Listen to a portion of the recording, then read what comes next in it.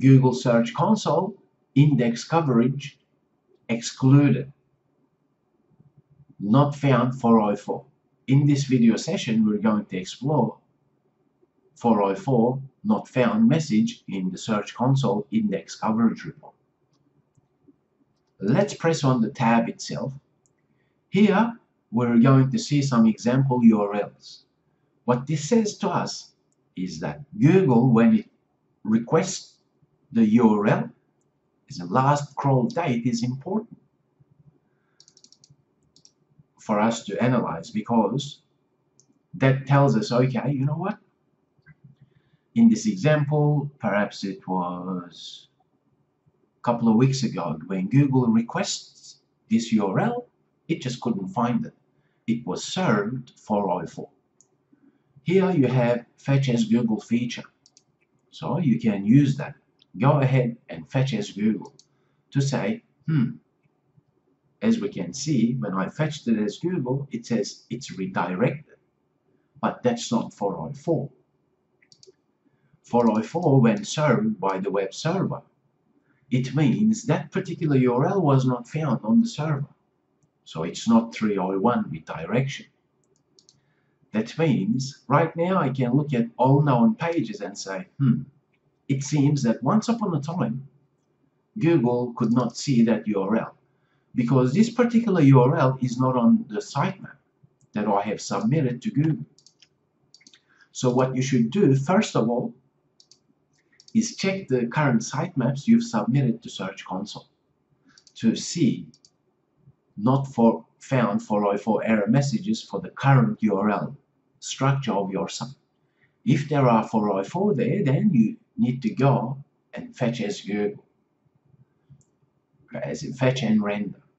Because it may show you not found error message because that's what it means. 404 means the request returned from the server was said 404 not found. So then the question is okay why is it not found there is not much you really can do apart from triple checking the sitemaps that you have currently submitted. Because as I've said in the previous video sessions, all known pages show you historical data. And the reason that these may occur for the URLs no longer on your site is that Google follows links from perhaps external sites. And then the external sites may be linking to URLs that no longer available on your site and yet Search Console index coverage reports excluded from the index as in Google will not index these URLs because it cannot find them.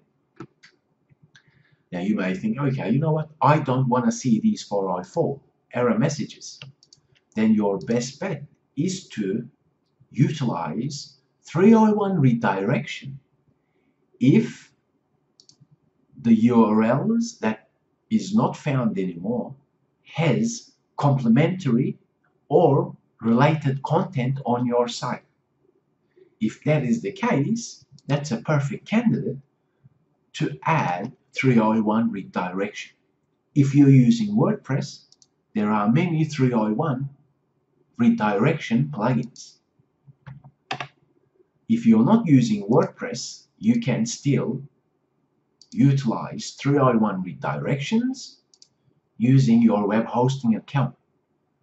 But once again, the best practice for using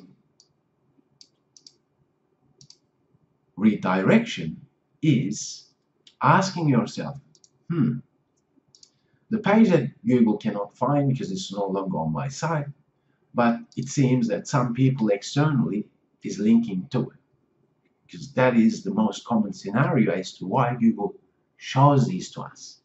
Well, if that's the case, you say to yourself, okay, you know what? Do I have related content? Do I, do I have similar content on my website? If so, go and do 301 redirection. If not, just ignore it. As in, you can ignore 404, not found, as long as they are not in your sitemap. Because if a URL is in a sitemap, then that's what you're saying to Google. You know what, Google? Here's the map of my website. And then if Google looks at a URL that you've submitted saying, you know what, that's part of my website, and when Google requests it, it finds 404 not found. And thus, index coverage reports are your friend to better optimize your website.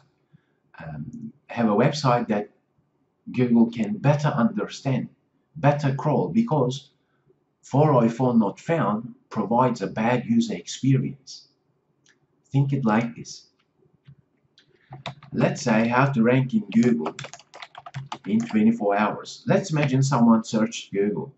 At this moment, they are Google's customers because Google provides a service through its search engine. And the results that Google shows is not coming from your website per se. The results are coming from Google's web cache servers.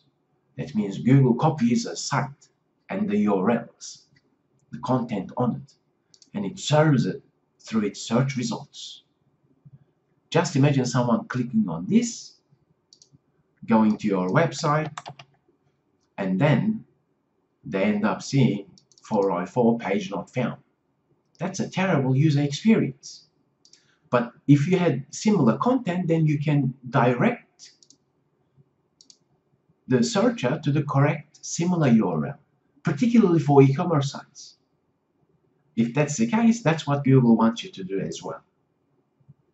Once again, not found should be triple checked by the sitemaps you've submitted. If there are not found there, you must ask yourself, okay, why can't Google find them? Because they are in your sitemap. And simply check your content management system. Yeah. If you're seeing not found for the URLs that no longer are on your site, and yet you have similar content, then go in and do 301 redirection. There are plugins for WordPress if you're not using WordPress, log into your web hosting account and find redirects. cPanel gives you redirects option. Another way to do 301 redirection, to redirect the URL to similar content, is by using .htaccess file, which resides in public underscore HTML folder.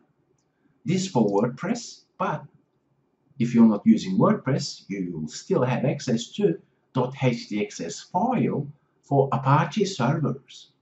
Simply download so you have a backup, then you can right click, press edit. Then I'll show you a basic structure to adding 301 redirection using .htaccess file. And that is by saying rewrite rule and this symbol here, I'll zoom in so you can see, and give the path to, let's say, old URL, whatever the URL name is, then redirect to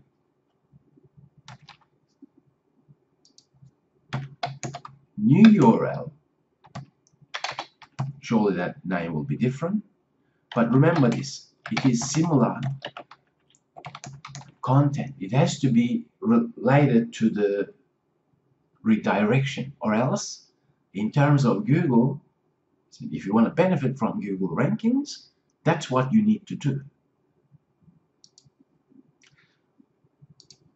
Index coverage excluded from index. That means Google is not willing to put this in its index. Checking last crawl date is important. Also triple checking the sitemaps you've submitted at the end of the day, they should not have 404, as in not fair for the sitemaps you've submitted. For all known pages, realize you're looking at historical data here. And the reason Google may show these is because these links may be on external sites, perhaps web scrapers who automatically scrape the internet. And they may place links here. Perhaps these links were on my site two years ago or a year ago. As long as those links exist on internet, Google will follow them and keep showing you 404 not found messages. So then you have to ask yourself, do I have similar content? If so, go and do 301 redirection. If you're using WordPress, use the plugin. If you're not using WordPress, do 301 redirection to similar content using your web hosting account. If you're technically inclined, you can utilize .htaccess file for Apache servers. At the end of the day, not found 404 messages cannot be ignored for the sitemaps you've submitted. That's why Search Console is your website's friend so that it's better optimized. Also, Google can understand it better. So that's what not found 404 message is all about.